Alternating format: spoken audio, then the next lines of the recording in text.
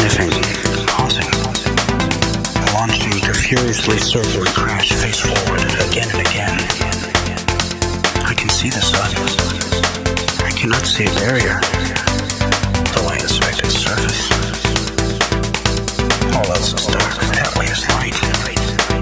The faintest leak of air tells me that way is home.